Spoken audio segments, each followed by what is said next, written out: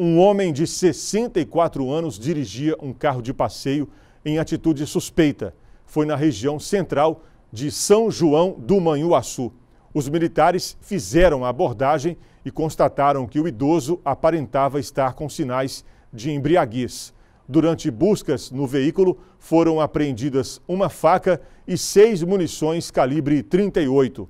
Os policiais então foram até a casa dele, onde encontraram três armas de fogo sendo um revólver calibre 38, uma espingarda calibre 36 e uma garrucha calibre 22.